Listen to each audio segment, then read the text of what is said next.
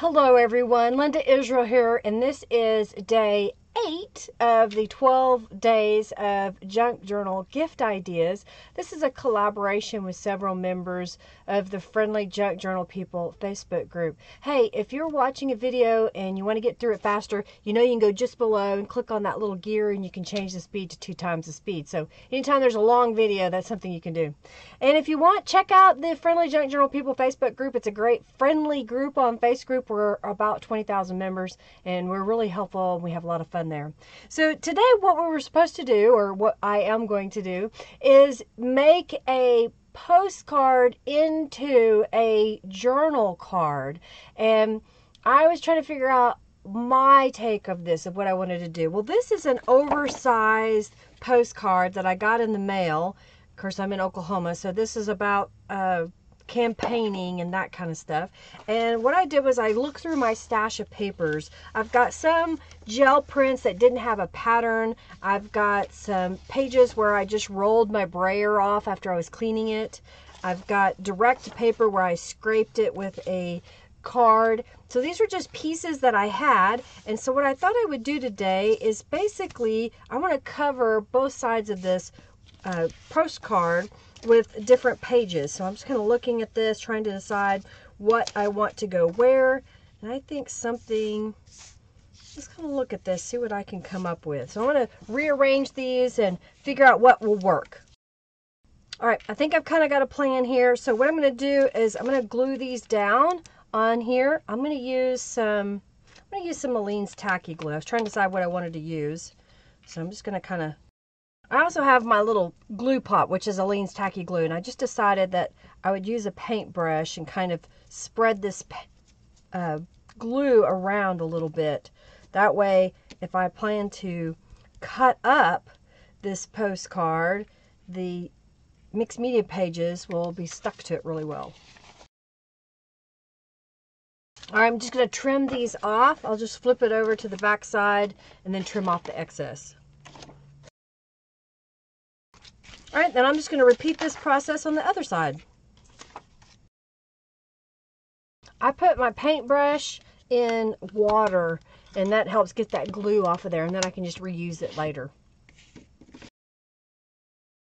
Okay, so I have covered both sides of this oversized postcard so that I can create some more journaling space or a journal card for my junk journal. And I'm trying to decide what I want to do next. If I want to cut this up or if I want to maybe fold it. It's six inches by 11 inches. So if I fold it, then it would be five and a half inches wide. I think I'm going to go ahead and cut this up into postcard size, four by six. All right, so I ended up with three pieces here. So I'm just kind of looking at this. I'll set this one aside. I like the way this one has come out up here. Oh, I think I like that side. Okay, so here's what I'm going to do. I'm going to stamp on these and use a few different versions of stamps from B Line Designs. So this one is part of the postcard stamp set. There's a set of four, and I've got three of them out here. I'm going to use that postcard to stamp up here. And I'll use it over here. Kind of like that. All right. This aside. I'm going to use the shabby stitches. Grab a scrap of paper here. And I'm going to stamp where these papers are joined together. Like that. I think I'm going to go ahead and go all the way around the edge. Okay, I like that. I'm going to go ahead and flip it over and do the other side as well. Okay, so this one says postcard up here and there. I think I'm going to leave this as the writing space size eh, side. And then on this side, let's put like faux postage in a sense. I think that would look good. So these are some butterfly squares that Calico Collage sells. So I think I'm going to glue those down here. I'm going to go ahead and go around the outside edges with some Distress ink. All right, so I grabbed a couple more stamps here. This is the memory stamp that's part of that same postcard stamp set.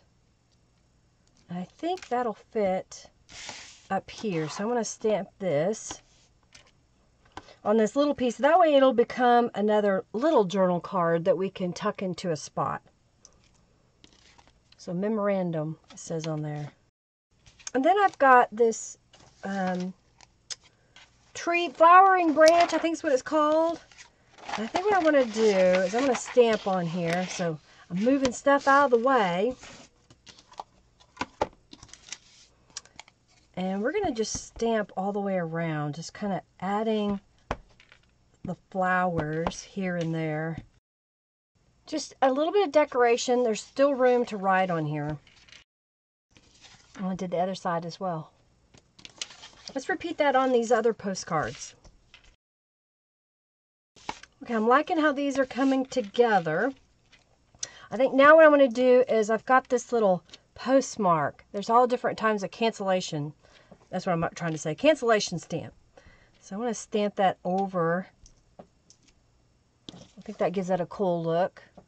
And I'm going to change it. I've got a different one. This is another cancellation.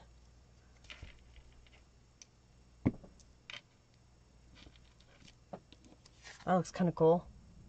Across there. Let's see if we can find maybe a little, a little something to put on this card over here. I think that little butterfly in the corner would be good. Me find another one for the other side. There we go. I uh, take my rubber stamps and I will stamp them all out and color them with Tattered Angels Glimmer Mist. Then I will take them to my computer if they're B Line Design stamps because I'm allowed to scan them in to my computer and reprint them. And that's what I'll do is I'll do a whole sheet of images that I know that I want to use and I'll color them and then I'll scan them into my computer and then I can reprint them. So it's kind of handy if you know you use the same color scheme over and over again. All right, well, I think, I think I'm done. I, I like the way this looks using the postcard and some book pages that were turned into mixed media elements. I'm not going to put a lot of decoration on this side. I guess I could. Let me see if I can find one more set of butterflies. Maybe if we put one right here. This is a different color. Let me put that one there. I've got some Tulip Dimensional Glitter Paint. This is over in like the t-shirt decorating department. I like it because it's inexpensive. And I'm going to go in here and add a little to this butterfly. I'll use my finger to kind of spread it around. I like that it adds just a touch of sparkle with the glitter, but it doesn't rub off. All right, so there are my version of a postcard into a journal card. I use junk mail and book pages and mixed media pages that I put together to make these. I hope you like this part as the day eight of junk journal gift ideas. Do check the description box below for links to the other participants that are making videos and check out the Friendly Junk Journal People Facebook group and of course the products that I use if there's any that interest you. Do know that I go live on Mondays at 3:45 p.m. Central Standard Time and again on Thursdays at 12:30 p.m. Central Standard Time. Mondays we make a journal, on Thursdays we do mixed media. All right everybody, thank you so much for watching. Have a fabulous day. Bye everybody.